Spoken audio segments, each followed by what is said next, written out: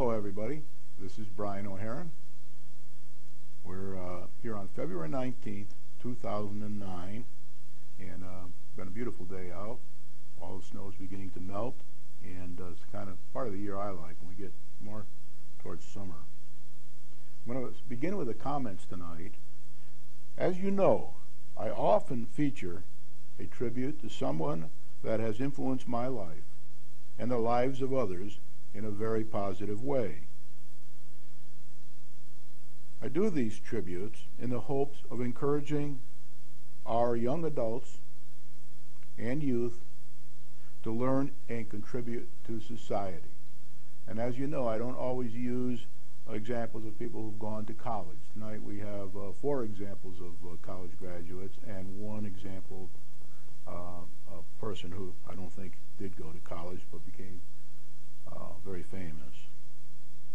Tonight you'll be seeing first a picture of Franz Opper. When hearing about the Bernie Madoff 50 billion security scam and other recent securities scams, there was a new one announced yesterday, a 10 million one from a guy in Houston. And when the recent economic worldwide crisis occurred due partially to a lack of regulation and enforcement in the financial industry, including the lack of adequate procedures, enforcement, and oversight by the Treasury, Federal Reserve, the Fed, the Securities and Exchange Commission, SEC, and Congress.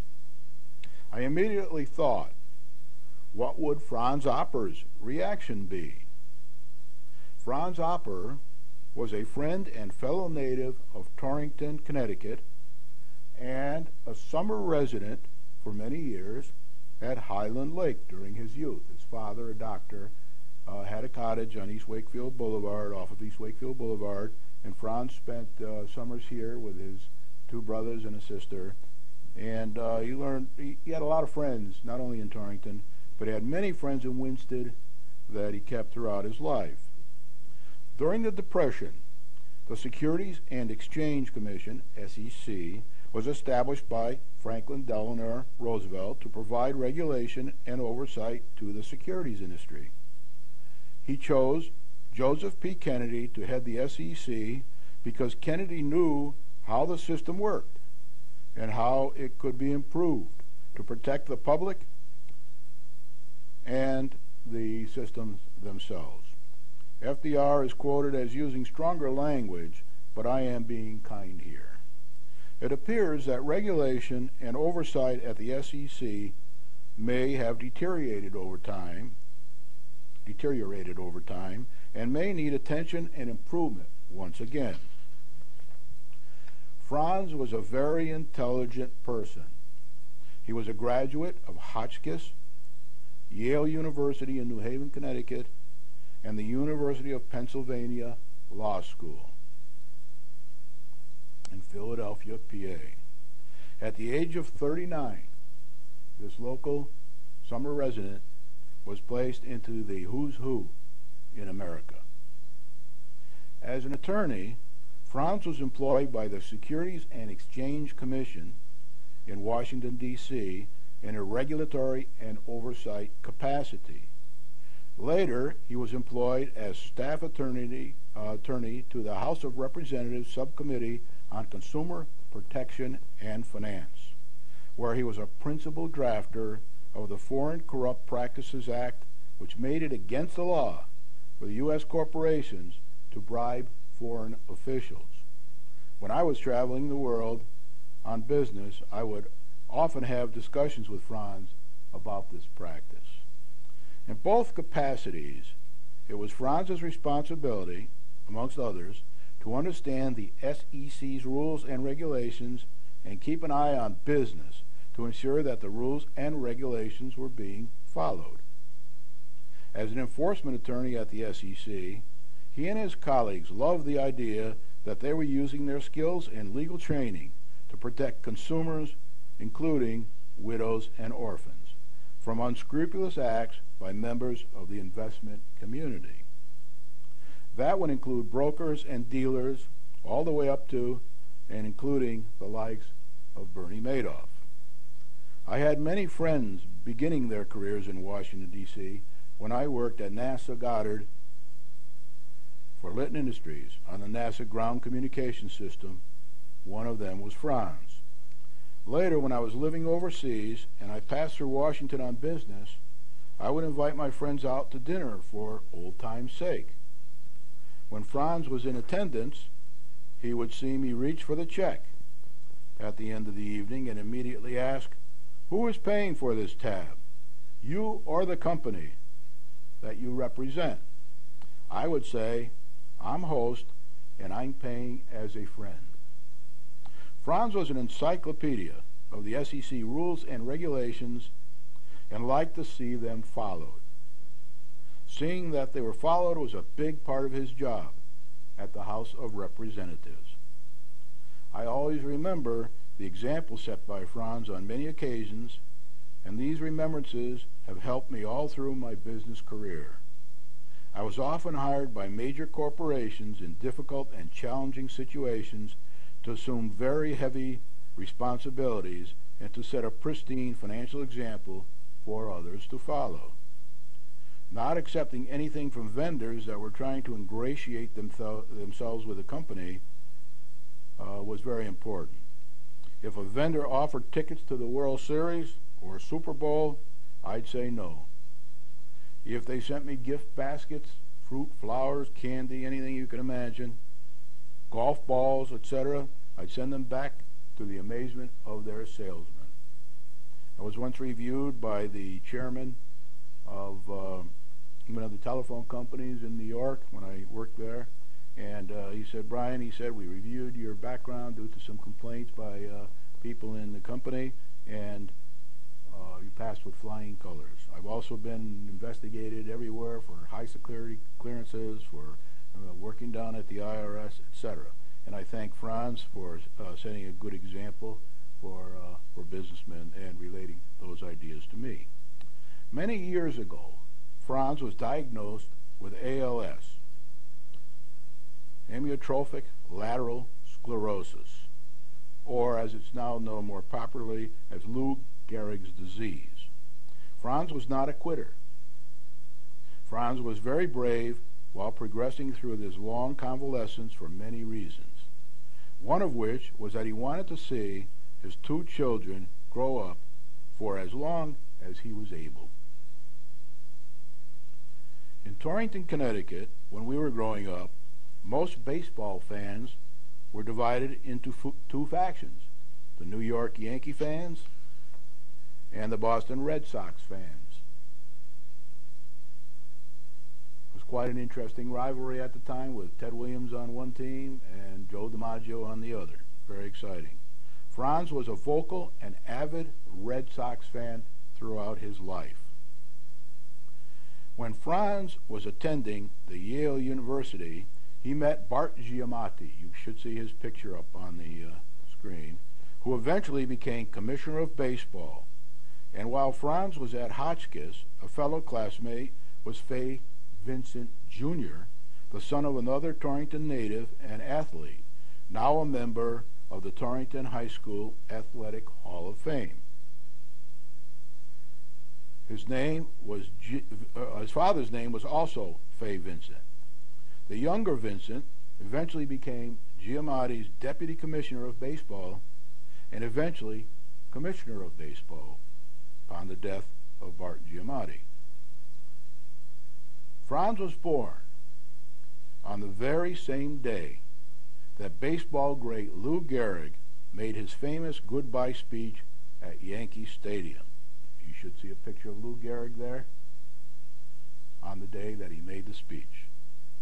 In that speech, Gehrig declared himself the luckiest man in the world, even though he was saying goodbye to baseball because he'd been stricken with ALS, now commonly known as Lou Gehrig's disease. Franz's brother contacted Fay Vincent to see if there might be some way that the Boston Red Sox might be able to send Franz some birthday wishes on his 50th birthday. Unbeknownst to Franz's brother, Vincent and baseball were planning a 50th anniversary, anniversary commemoration of Lou Gehrig's famous speech. So when Vincent got the call, he said he would do Franz's birthday celebration even one better. The Red Sox and Yankees were playing a game on July 4th, 1989 at Yankee Stadium. And Lou Gehrig's famous speech was to be replayed as a way to raise public awareness of the disease. So for that day, well into the latter stages of Franz's illness, Vincent invited Franz and his family to be guests at the Yankee Stadium to occupy Yankee owner George Steinbrenner's box, and Vincent arranged their transportation. Franz and his family made the trip to Yankee Stadium, Franz in a military medical helicopter. I guess a medical helicopter. I'm not sure it was military. Using a special communication device for recording his thoughts, Franz wrote a beautiful speech for the occasion by blinking his eyes into a computer. His daughter Gretchen, who, who was 18 years old at the time, was to read the speech at home plate. But at the last minute, the microphone didn't work as she was standing at home plate with the famous New York Yankee announcer, Mel Allen. The Associated Press reporter was present and asked for a copy of the intended address and published the paper nationwide. If you're interested in reading the paper, you can Google Franz Opper to see some of the press history of the event.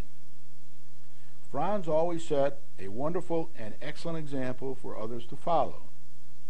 He must be looking down now at the current state of the financial industry and SEC and reminding them of their regulatory and oversight improvement for businesses as he did to me from time to time. Thanks, Franz.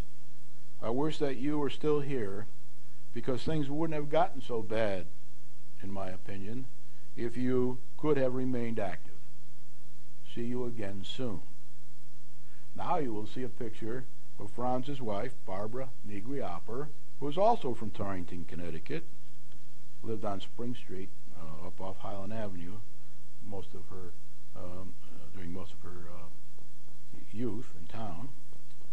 Thanks to another Torrington native, Barbara Negri-Opper, Franz's wife, for helping me with this tribute to Franz.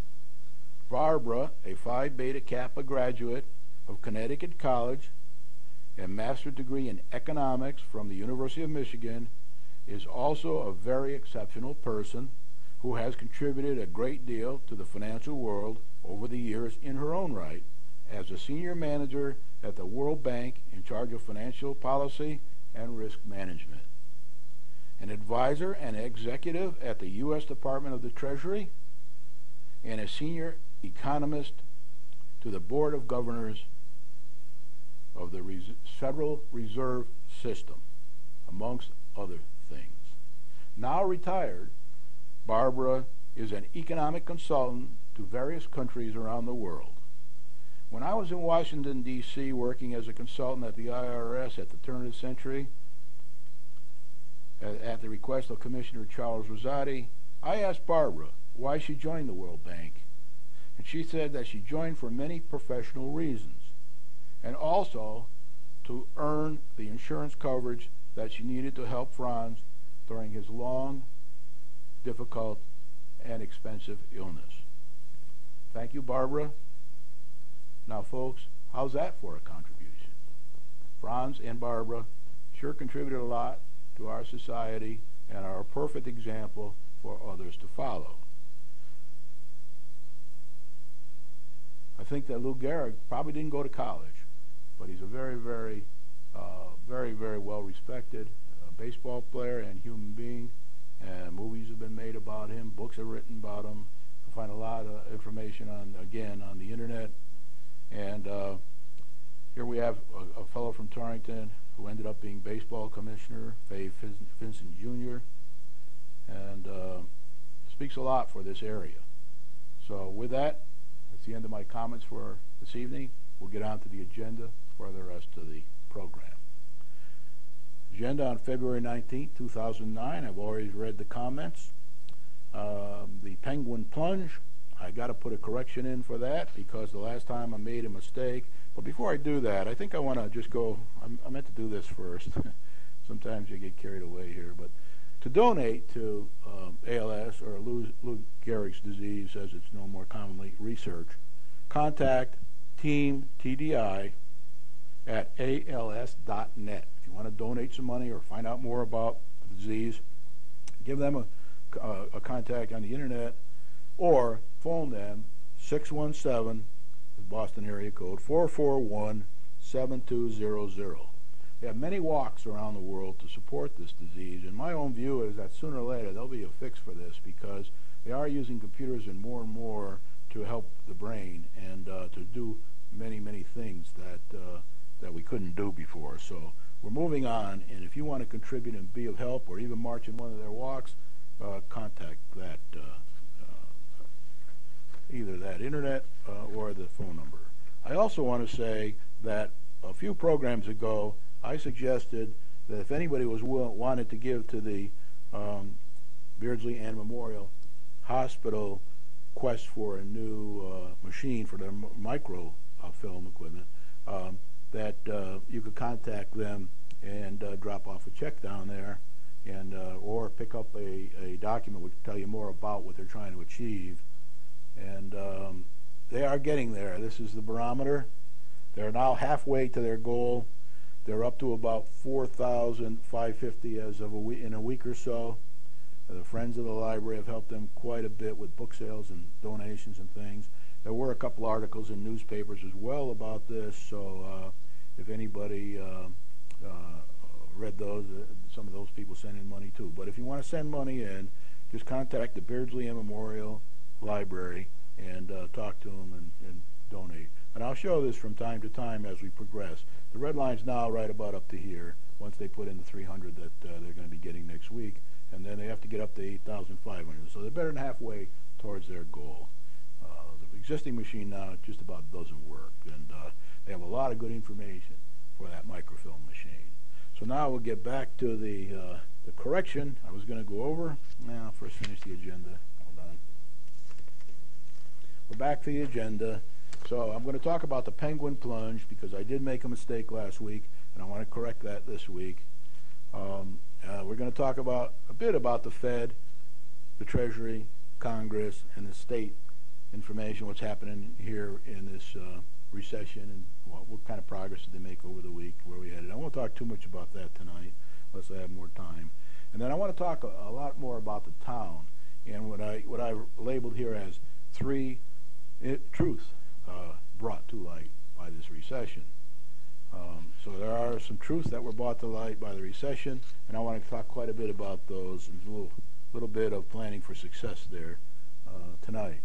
And then a definition from the town charter. There's often confusion about how you know how the town manager should be recruited, what what kind of an education you should have, and I just want to read it from the charter. Uh, what we need to look for when we look for a town manager, because in my view, the town manager is doing a wonderful job. You'll see his picture up here later in the program, and uh, you know we want to make sure everybody understands exactly what the facts are. And you can always go down, of course, and get the charter and read it for yourself, but most people don't do that, so I'll just go over here tonight. Now, for the correction, last week, uh, the Penguin Pledge, uh, I said it had raised $50 million. And, uh, of course, I, I didn't, it didn't raise $50 million, but it did raise $50,000. So Penguin Pledge raised $50,000. I got several phone calls about this during the week. I'm glad to hear that because people at least know, I know they're watching the program. And uh, not $50 million, as I mistakenly stated last week. Still a very positive contribution for these times.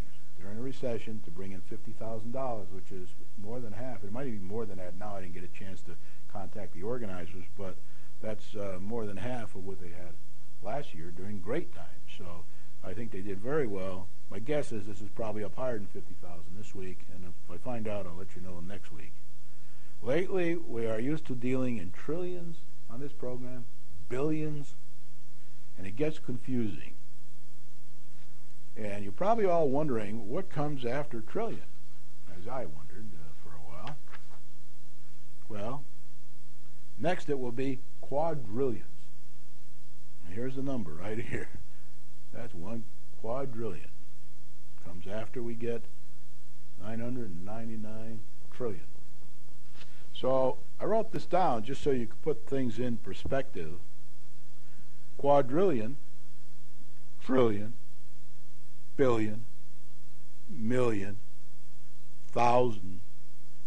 And the minimum wage in the state of Connecticut is $8 an hour. Different probably in other states. But that's kind of interesting. Now, we're not going to get to quadrillion in my lifetime, perhaps yours or your grandchildren's, but I just, just wanted to say to you, we have to get to 999 trillion before we hit the quadrillion. That's not likely to happen. uh, but you never know. Okay, now I want to talk a bit about the Fed because what I'm trying to do with this program is relate what's happening at the uh, world, uh, uh, United States, and uh, in Connecticut level that may affect our budget for the next fiscal year. And remember, our budget for the next fiscal year is, is um, the objective is to have a zero increase to the taxpayers and um, to have it in by March 15th to the selectmen so they can begin begin the process of um, going through the budget with the residents and with the managers and with the Board of Education, and then putting it forward to our annual town budget meeting, uh, first annual town budget meeting for this year, and then uh, once it's uh, once it's agreed there, it can be reduced there but not increased. Then it'll move on to the town budget referendum for uh, 2009-2010 budget, and it will be approved or not. If not approved, it'll be back or reworked by the town and then go through that same loop again. So that's why I talk about these here, because we may be getting money uh, from uh, other sources this year, more money or less money um, during these tough times. So the Fed is still proceeding with their quantitative easing policy. And since September, they put about uh, 700 billion into this economy. And that's loaning money, that's uh, buying bonds when necessary, that's uh, uh, loaning money to commercial operations through the federal discount window and things like that. There's a whole list of things they can do. And then if they need to do more, they can even go to ask for more from Congress and the President uh, if they need to do more than, than, uh, than are already approved do. So I say watch the Fed.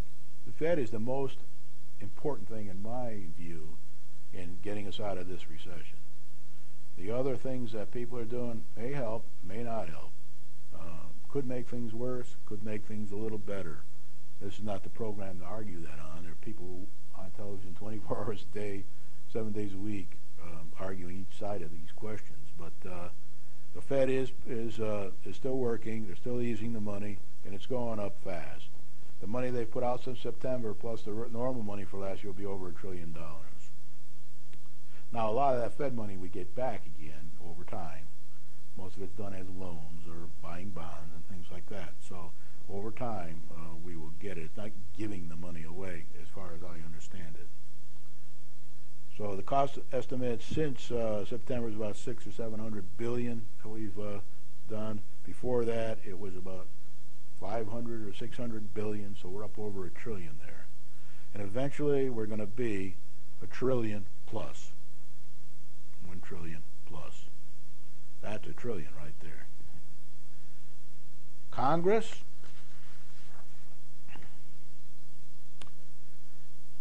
This week, they put out some information about the job and stimulus packages. The stimulus package was approved and, and signed off a couple days ago by the president. It's about one trillion two hundred and fifty uh, billion when you include the interest. So if you take their 807, 87 or what it was, and add on 350 to it, you're up around this number and that's how much it's going to cost. You notice how they never like, it's like our old bond package. Nobody ever likes to say how much the interest is going to be because it makes the number a lot bigger. They probably like rather see 878, 8,787 billion on there rather than 1.25 trillion. So that's sort of a gimmick that uh, they use in government and not in business, but in government uh, they, they want you to know that. And I'll bet you, even on your own mortgage, most people don't know how much they're paying in interest and how much they're paying in principal altogether over the 30 years. Most people don't know what that is because they never bothered to figure it out. Nobody really, no salesman was anxious to tell them that. This was voted on, the stimulus package, over party lines. The president likes to call it a job package. Other people like to call it a different package, but uh, the name changes from time to time depending on the politics of the situation. Um, and it's a very controversial policy. There are those who say it won't do any good at all, it'll do a lot of harm. There are, there, there are those, those that say it'll do good and harm, and there's those that say it'll do good. And uh, as long as we watch it, something has happened here. Nothing we can do about it now, but monitor it, watch it, and encourage change when necessary if it's not achieving the, the goals that it's supposed to achieve. It's very difficult to measure those goals because, first of all, they're not properly written down. Second of all, um, they're, they're very, it's confusing about what makes uh, what it takes to reach a goal, and uh, that's going to be argued for till kingdom come, I think. As far as the Treasury is concerned, the TARP one, there's still some remainder to that TARP, which is being committed out for various things like uh, to the car auto industry and to banks. And then there's TARP 2, which is mainly supposed to be used for what you, what they used to call the uh, the bad bank um, approach, getting the toxic toxic acids off of the books of the banks. Uh, and then the auto industry needs to be bailed out. That number keeps changing. Um, for example, last week uh, last week, uh, Geithner came in and he said they might need fifty billion dollars for uh, for the mortgage bailout. Well, this year week they came back and said they need seventy-five billion, twenty-five billion dollars more, fifty percent increase in over what they said one week ago. Right now, part of that's because they didn't really have solid plans. They weren't ready to commit, things like that. Now, that so most people think that all this here is going to end up at one point one or two trillion before it's done. And that's just from what I hear on uh, TV and reading the news, all kinds of various opinions on it. But by the time we get the banks and this auto industry squared away, we, the taxpayers, may invest about one or two trillion dollars. We may get some of it back, we may not. But stay tuned there on TV and in the newspapers to see what happens over the next month or two on this. And that thing should at least settle down. We should know roughly what they're trying to achieve and then they can we can begin to measure the progress if practical and uh, be able to tell. But in, in meanwhile, of course, uh, we have to watch inflation, and uh, That's very important.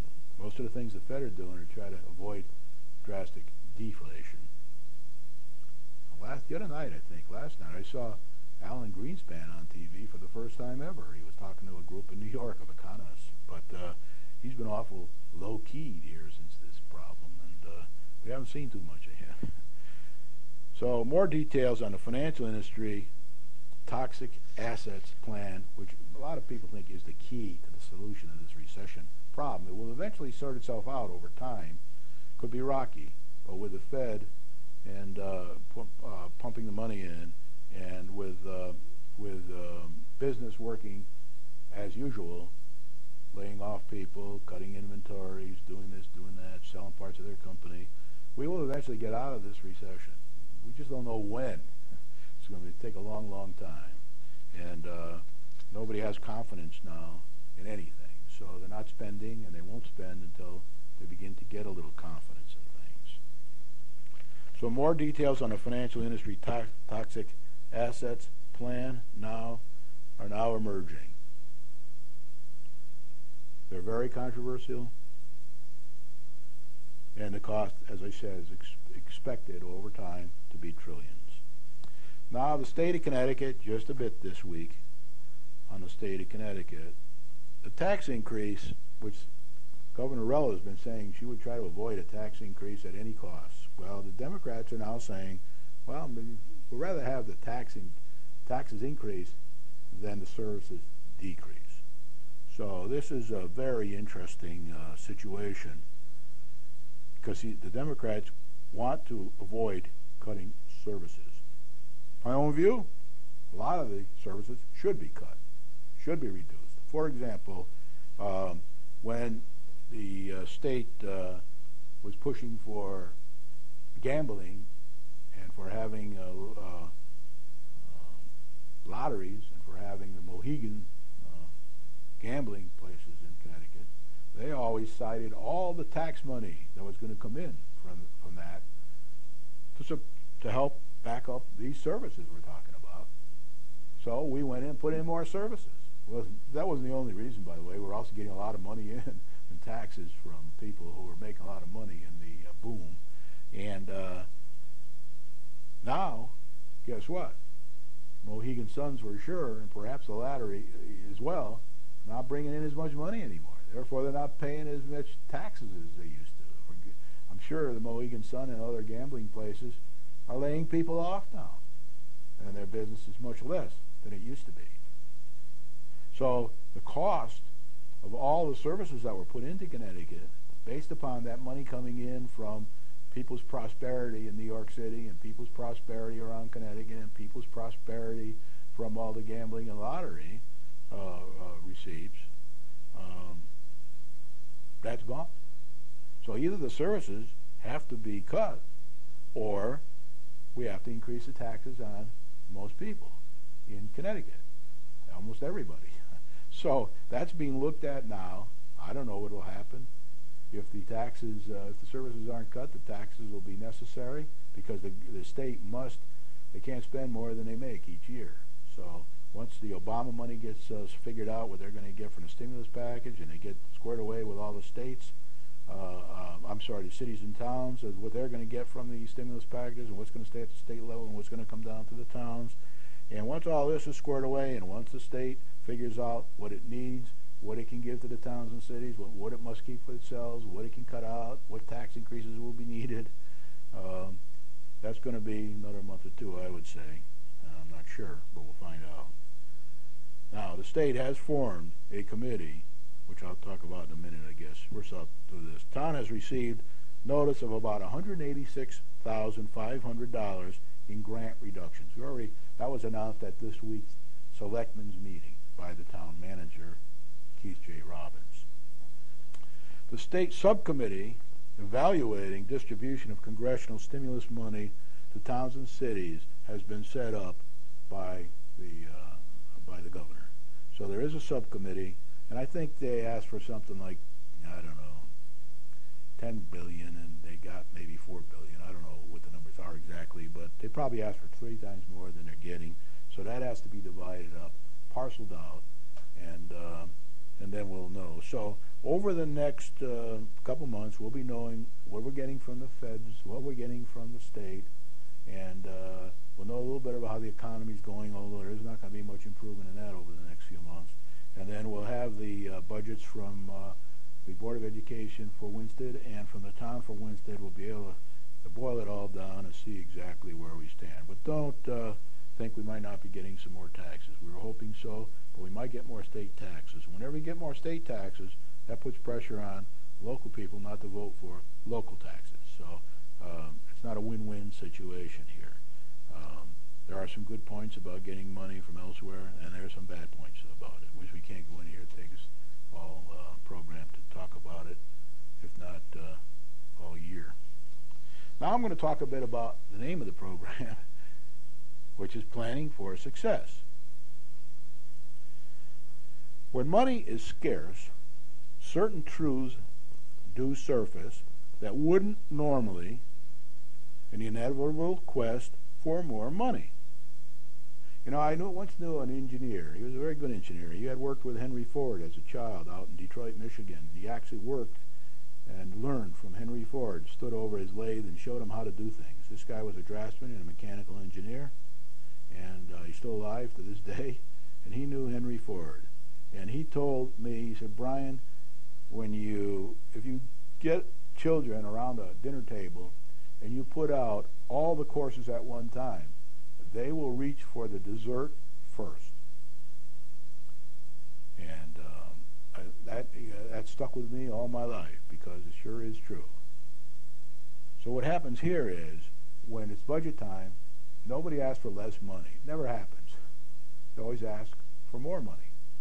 They have to be forced, pressured, cajoled, uh, and shamed and everything into asking for less money. It happens in families as well, uh, and it happens at all levels of government. It happens in our town, Winsted, Connecticut. Tonight I want to discuss three examples of these truths and how this economy has forced uh, them into the limelight.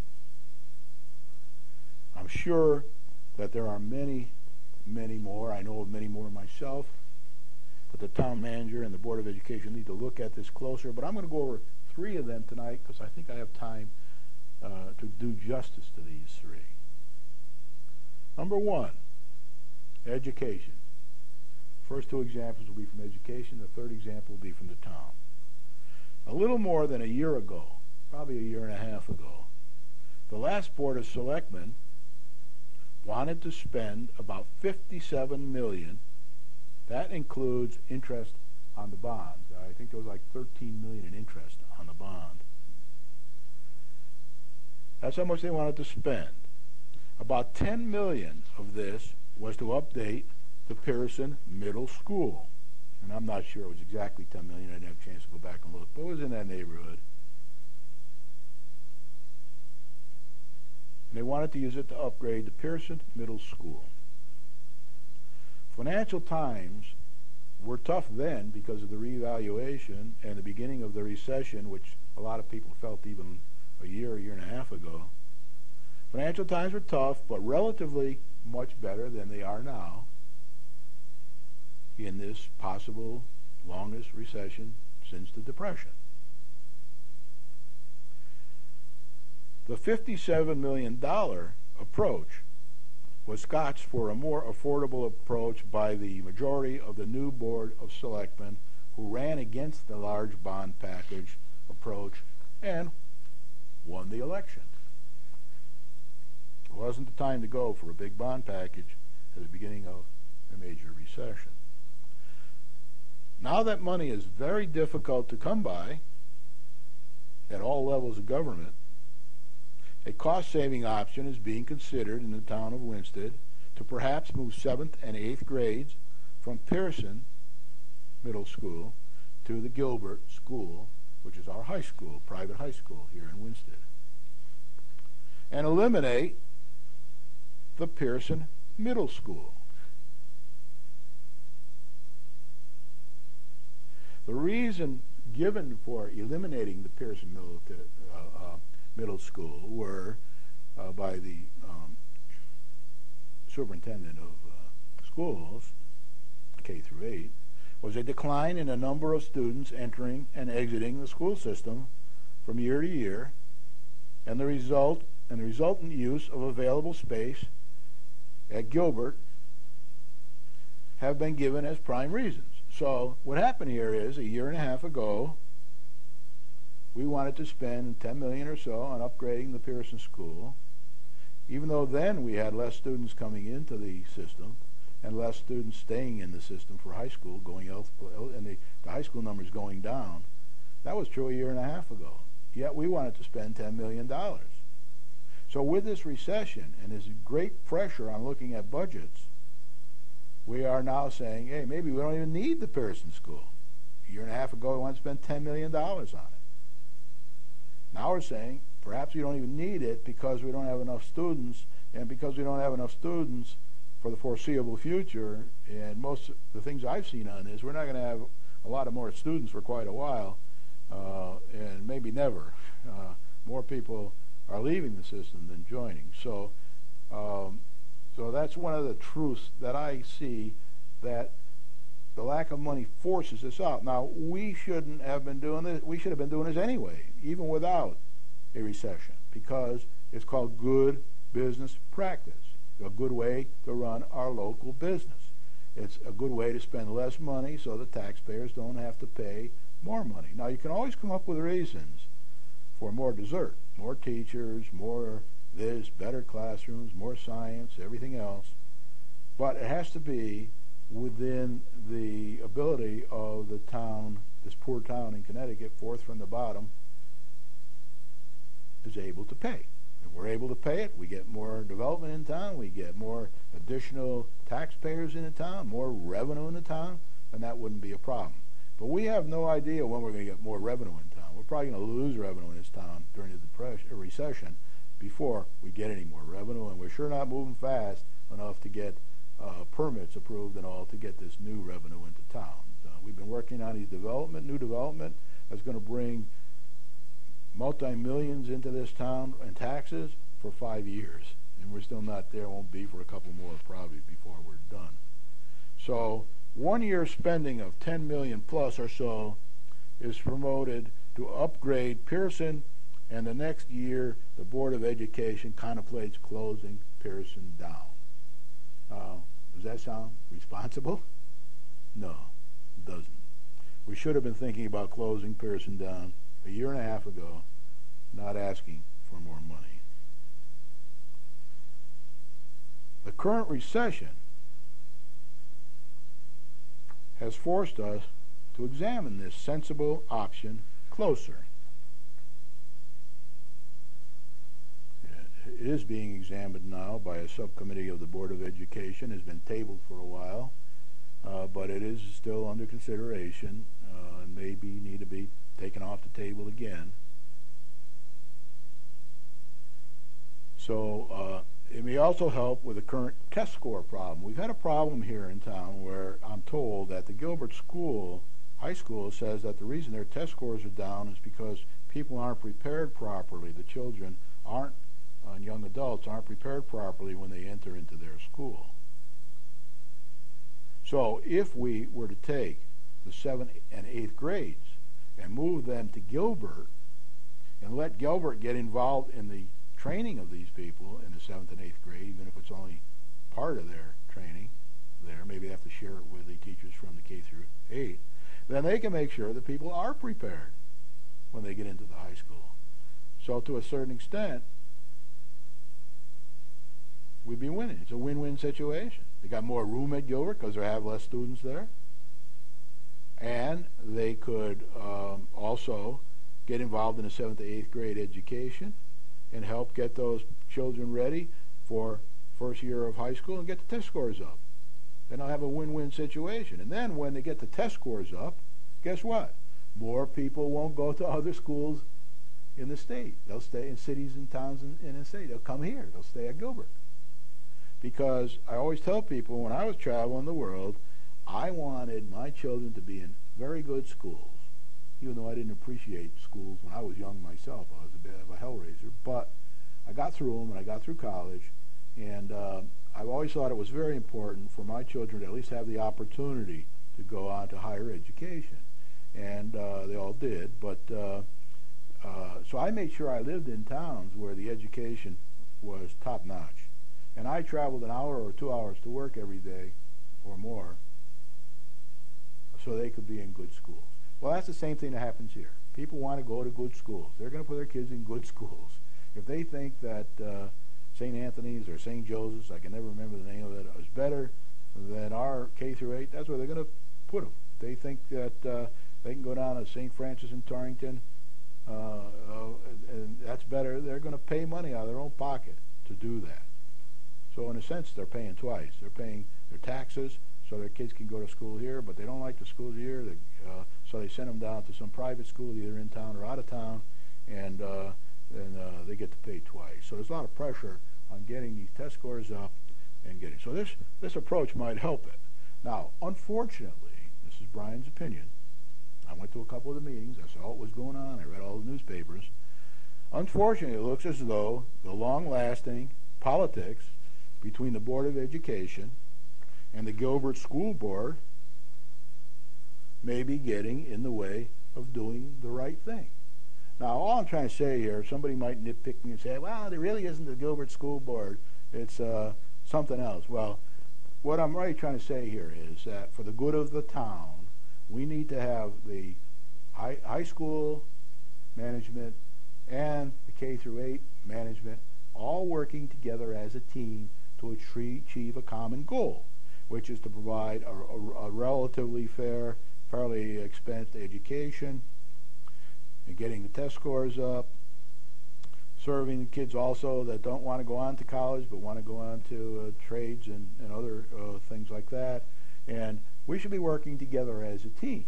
And my way of constructing a team is saying, hey, you guys at the Gilbert School, you need to come down and work with K through 8. You guys at K through 8, you need to get in and work with Gilbert. No excuses. You just got to do it. There's got to be a joint team, whether you like each other or not. You might hate each other, but that isn't going to help the children in the town. And then again, you might like each other, which will make it even easier. And then once you get that agreed, and you can work between yourselves, and I'll talk about some of the reasons why in a few minutes, other reasons why besides this one. Then you can invite the town in. The charter says you must invite the town in uh, to help you uh, in the board in the education. Uh, so you can invite the town manager and the mayor and the selectmen and the town, all the direct reports to the town manager, to come and join your team. So that you would have a team of Gilbert, K through 8 Board of Education, and the town. And you have joint meetings, you work together, might even be a subcommittee, I don't know, but you know, gotta be. And you're you gotta be very visible, gotta let everybody see what you're doing. Now, this hasn't got anything to be do with the recession, so to speak. It's just forced out by the recession. We have to do something here. Now, if we get a bunch of money from the president and from the state, from these giveaway uh, um, deals they're putting together, that'll just prolong our agony here. But we'll be all right for another couple of years until we stop getting money from uh, the stimulus package and we stop getting money. Now, some of the problems we have in the school system got nothing to do with us. They're from unfunded mandates and from arbitration we have to go through. So uh, those have to be resolved as well. But I always like to take the approach, what can we do here in our own town? What can we do? And if we jointly work the problems of the education, and then we jointly go to the state, I would think we'd had a better chance. And then we could join with other towns to go to the state which the, Litchfield County Board of Elected Officials tries to do and the CCM tries to do, but you know, uh, that, that would even be better. So it's a positive approach to things. And what I'm saying here now is uh, this has been brought to light by this recession, and uh, we got to get it fixed. And we can postpone it, but we shouldn't postpone the planning. We should take sensible steps, not plan to spend 10 uh, um, a million dollars when uh, we really should be doing taking a whole different approach. So that's what I want to say about that, and that's one of the, uh, the th things that's been forced out into the light by the recession. Another thing that's been forced out into the light by the recession, a very interesting one, was mentioned the other night at the uh, selectmen meeting is, uh, again, in education. The Board of Education recently hired a finance director, the fourth in as many years. We had three permanent finance directors, and we had one uh, temporary one in the last three years.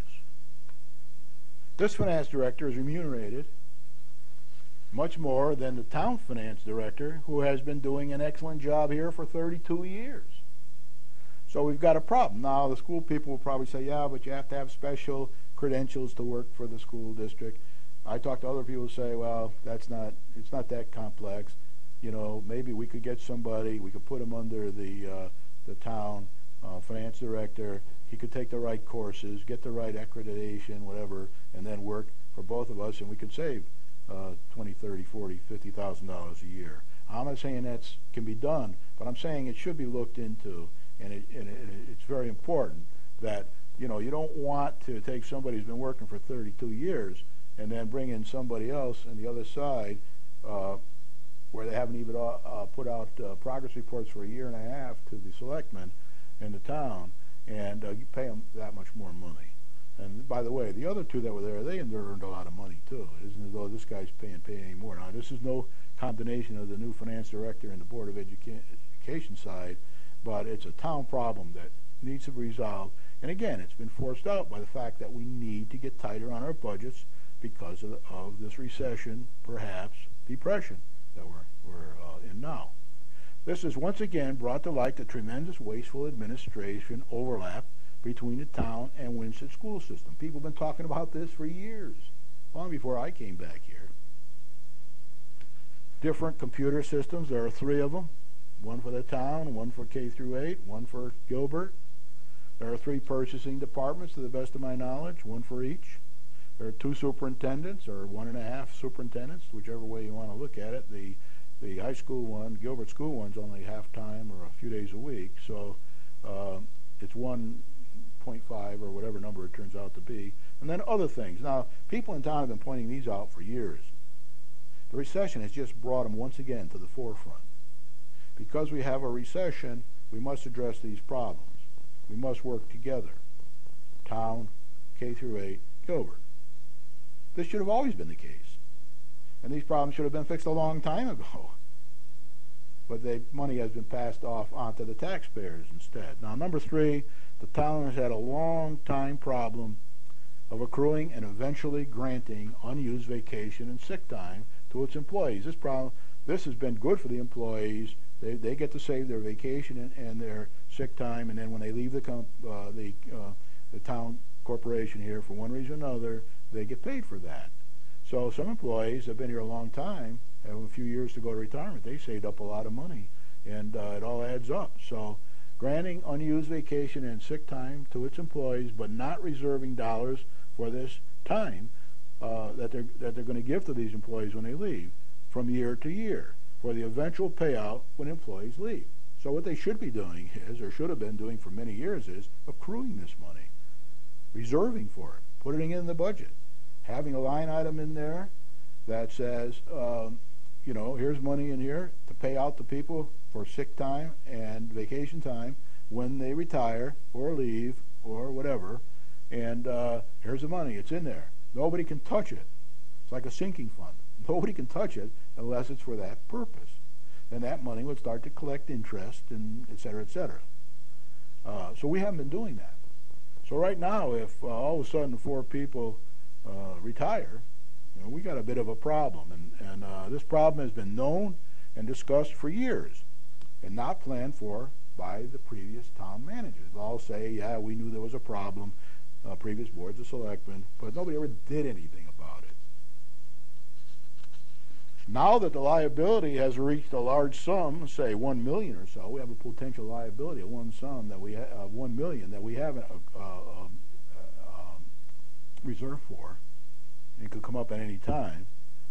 Uh, we have about one million there in liability. And four or five long-term employees are nearing retirement. And usually long-term employees have saved up holidays and vacation days and are expecting some remuneration for that. And we will owe them a lot of dollars that have not been planned for. And we may have an urgent financial problem to deal with at a time when our general fund is relatively low. As you know from this year's budget, we're using some of that money for the Pearson OCR complaints if things go according to plans, and that's going to bring our uh, general fund down, and uh, unless we get some more money in one way or another. I don't think uh, there's too much of a forecast for that with the recession on. The new town manager, Keith Robbins, backed by the new majority of selectmen, is attempting to finally resolve this inherited problem in the town. So the town manager is working on it. What he's going to try to do is he's going to try to solve this problem to the best for the employees of the town and for the town. So we don't, we're not, we won't be in this pickle anymore. He's working on it uh, with the uh, labor attorneys and with others, and sooner or later he'll have a draft report for the selectmen. They'll read it and they'll try to come up with an answer to this. So uh, this is just another example of things that get forced out in tough times. It's been forced out before, but nobody did anything about it. It's been forced out this time, and they are doing something about it. And hopefully it'll please everybody. You know, they don't want to uh, anybody get gypped on this thing. It's got to be worked out in a professional manner. And uh, this is another example of, of how Keith J. Robbins is taking a bull by the horns in this town and doing an excellent job. I hear more and more about that all the time. Somebody stood up at the selectment meeting the other night in the public comment section and said, this guy is doing a good job. Let's figure out ways to keep him here. I'm just paraphrasing what he said. You can see it on Saturday morning at 9 o'clock, Channel 13, Charter, if you want to hear it from this. And I think it was done at the second half of the meeting. Now, I just want to say a little bit about the Charter in the last couple of minutes for the town manager. There are people who say, this guy doesn't have enough education. He doesn't go to school long enough. He doesn't have the right credentials from a, scholastic viewpoint. Well, this is what it says in the charter, section 501. It says a bit about uh, the selectmen hiring a town manager, and they say, and the town man- and who shall be chosen? The town manager shall be chosen exclusively on the basis of his executive and administrative qualifications, which this town manager, Keith J. Robbins, certainly has, his character, his education, his training, and his experience. So it doesn't say here you must have a master's degree in uh, municipal management or, or even a, a, degree in municipal management. It doesn't say anything like that. It's a balance. And when I read all the charters uh, in uh, when I was working on the Charter Revision Commission, they all said the same thing. Basically, that the experience uh, was was was very very important. And if a guy had a 20, 30 years experience, but not much of a college degree in that area, although he has taken college courses, that uh, that will be in his favor. So with that, I want to say thank you. It's been an interesting week. It's going to be an interesting week again, and I hope you learned a little by watching uh, my introduction on a very, very uh, helpful citizen, Franz Opper, who summered here at Highland Lake when he was in his youth, all till he went to to Hotchkiss, maybe even then, and contributed a lot to our country. And his wife Barbara Negri Opper, same thing, did a heck of a lot working with the World Bank and the SEC and other places. So let's encourage our children. I know a lot of them watch here, the high school kids. Let's encourage them to do the same. Thank you.